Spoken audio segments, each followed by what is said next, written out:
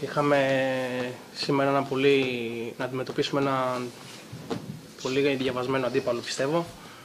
Στο πρώτο ημίχρονο, όπως είπε και ο, ο coach, ήμασταν λίγο βιαστικοί στις κινήσεις μας. Προσπαθούσαμε να πετύχουμε κάποιο γκολ που θα μας δώσει καλύτερη ψυχολογία για τη συνέχεια. Ε, πλαγιοκοπήσαμε. Πιστεύω ότι είχαμε σε όλο το παιχνίδι την υπεροχή. Δεν μπήκε κάποιο γκολ ε, στο πρώτο ημίχρονο. Παρ' όλα αυτά μπήκαμε στο δεύτερο αποφασισμένοι.